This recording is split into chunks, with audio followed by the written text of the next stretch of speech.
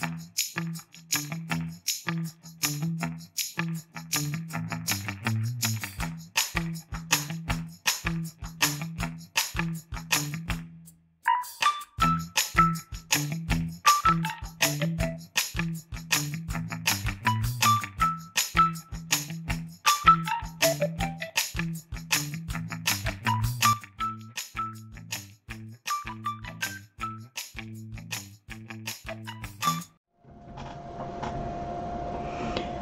guys, it's me. I'm back. I'm just doing something quick and short and messing around and now let me take the glasses off. We're getting glare from here to there again.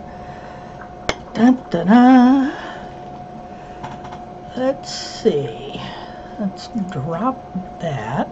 That should help some. Alrighty. I keep talking about going bargain hunting and making sure that you're actually looking at what you're getting as much as possible before you get it. Sometimes you can't. Now, one of the things that I'm going to show you, this palette is gorgeous, okay? It really is. It's beautiful. See that? All kinds of bright, pretty colors. Except for one problem. I got this off of Amazon. And the reason I got it was because it was listed for four bucks, three ninety nine, and it was on Prime, Prime shipping, all of that.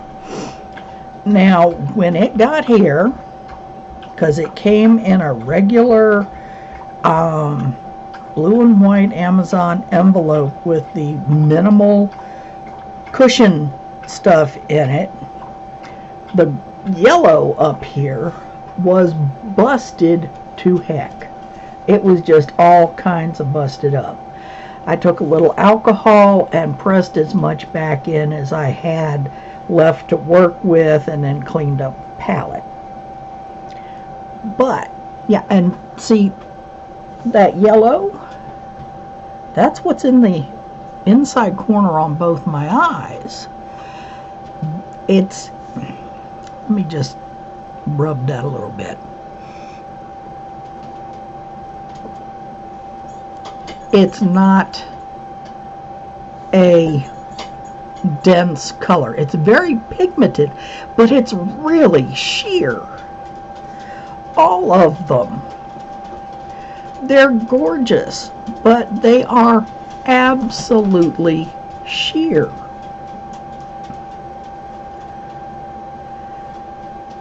Now see, I had originally ordered this for part of the Mardi Gras things that we, that, you know, I've been working on. And I was going, oh look, purple, green, and gold right here in this little palette. And this is the orange. This is that really bright orange. It's hard as heck to see. If you don't put these over top of other shadows, you don't see much of anything at all.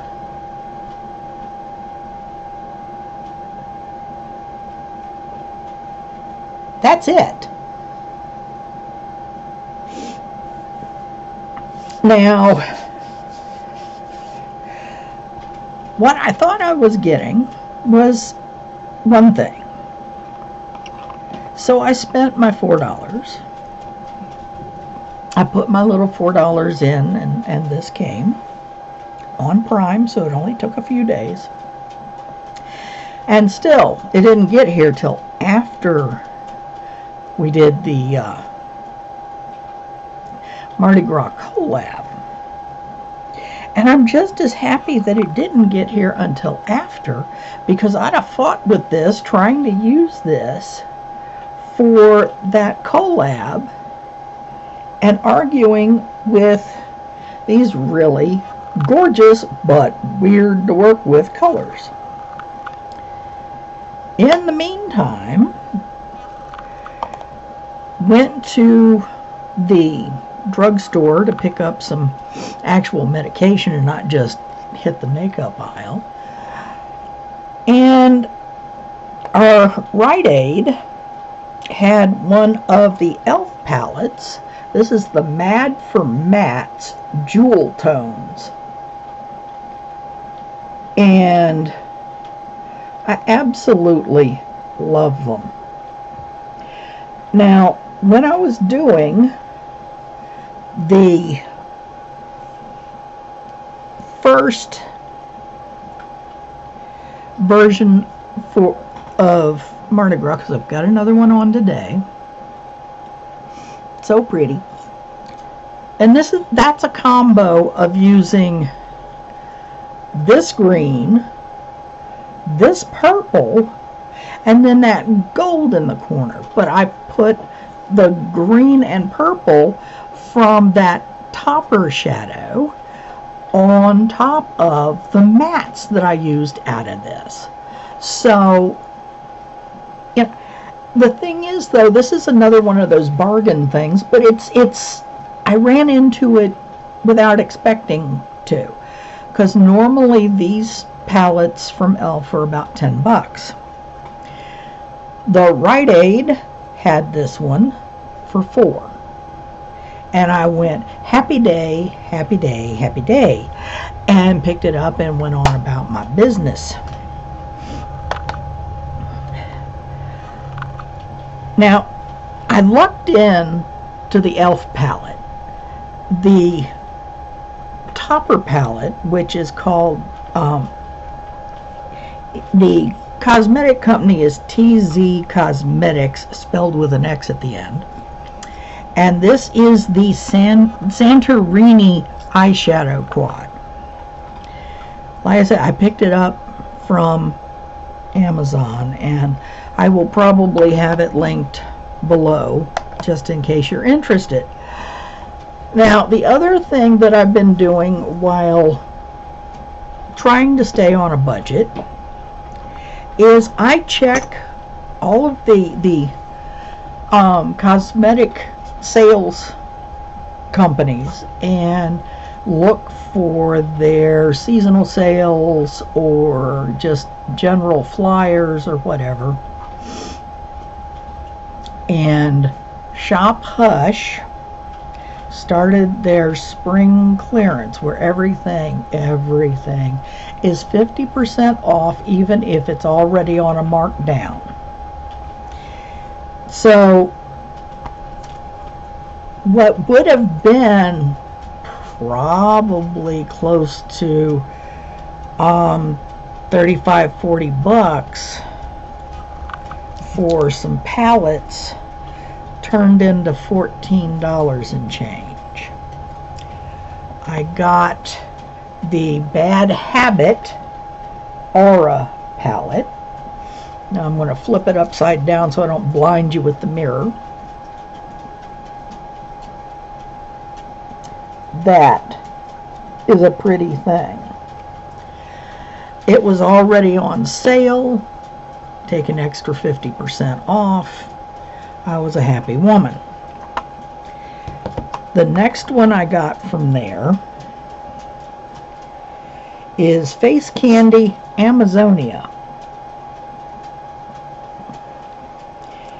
And again, I'm going to do the upside down flip so I don't blind you with the mirror.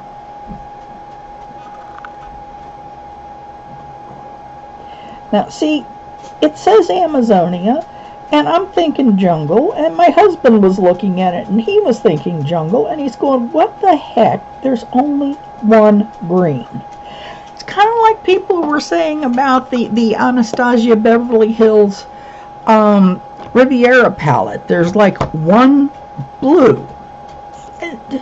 I don't get it.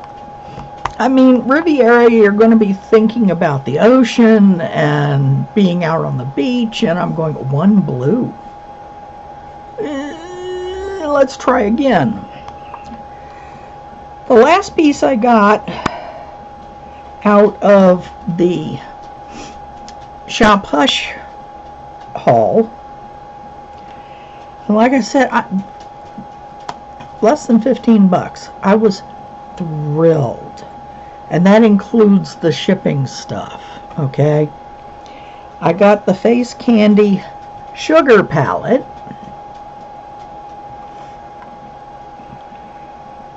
Which comes in one of the tins.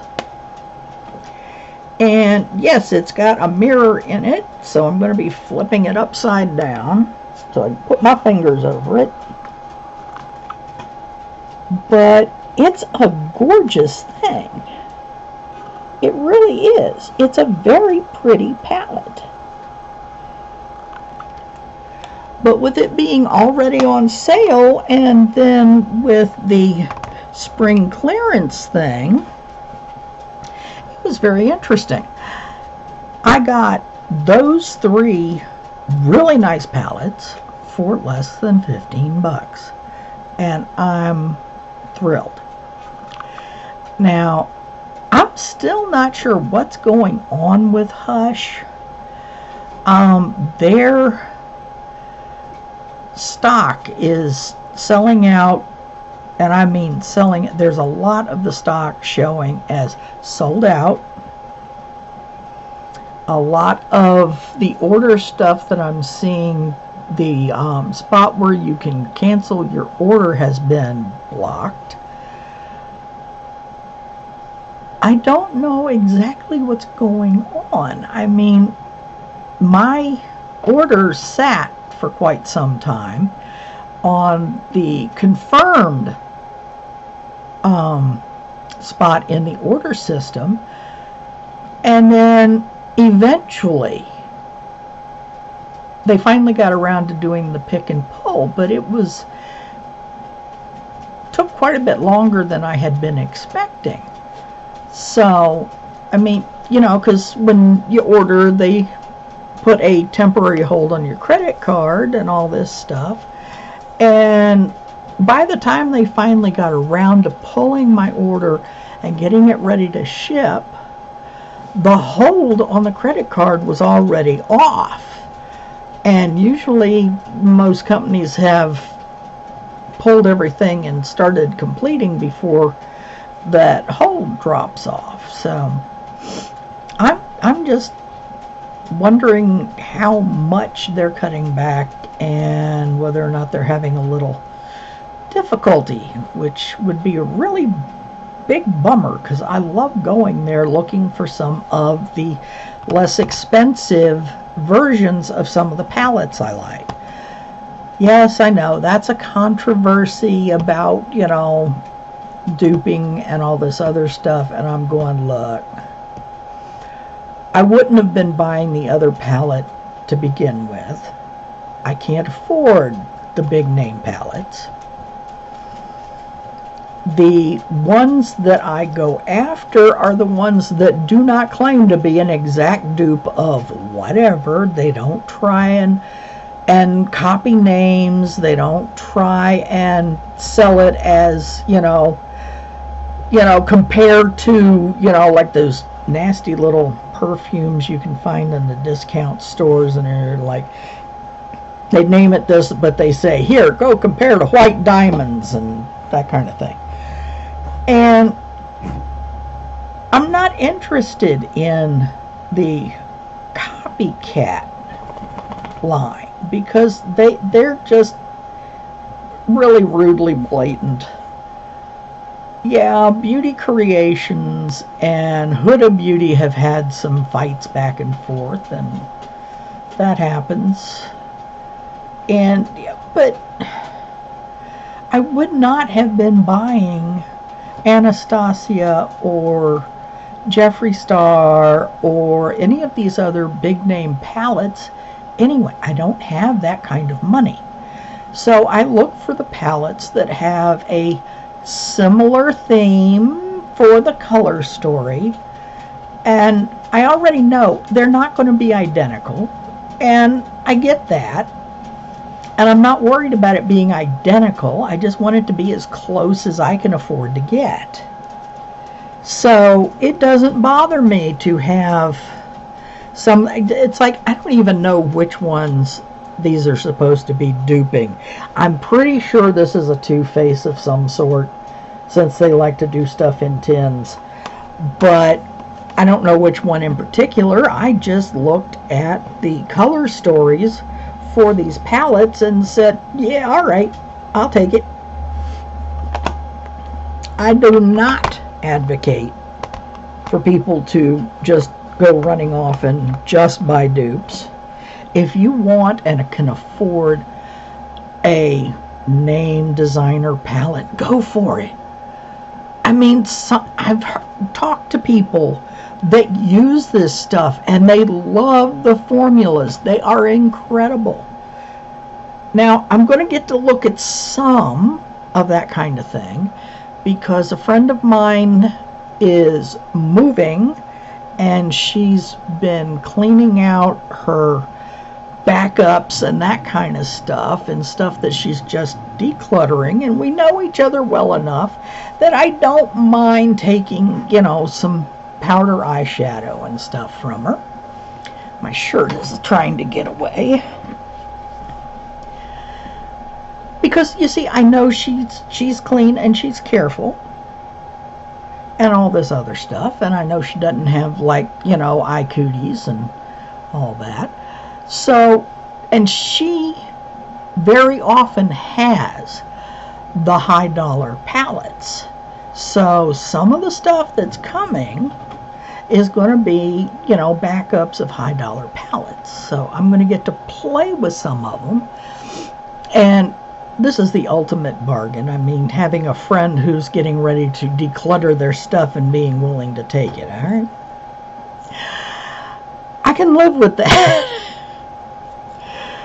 but, you know, it still doesn't mean, even if I really love the high dollar stuff, I'm not going to go out looking for it. I still can't afford it. So, yeah, I will very gratefully use what she's sending me, but that doesn't mean I'm going to stop my bargain hunting. It doesn't mean I'm going to stop, you know, looking looking for my my low dollar fill-ins. I will just make do. I am grateful for her sending some of the stuff my way. I'm thrilled. And we will see what kind of looks I can come up with once that arrives. But in the meantime, I've got new toys to play with. And I've got nifty new palettes to play with, which I means I can do some of this stuff like the the three looks one palette and um you know, palette bingo or something like that with a palette that actually has things like color names. And because most of mine are, are not really color name palettes. I've also discovered as I went through some of my stuff that I've been collecting since I started doing this that I now have enough of two brands to do a whole face of a brand. I've got Wet and Wild and I've got Elf. That's it, just the two. But I'm going to be doing that as well. Anyway, y'all have a good time wherever you are. If you're going to be celebrating Mardi Gras, Les bon temps. I can't even talk today. Les bon temps. And get your purple, green, and gold on. Be good.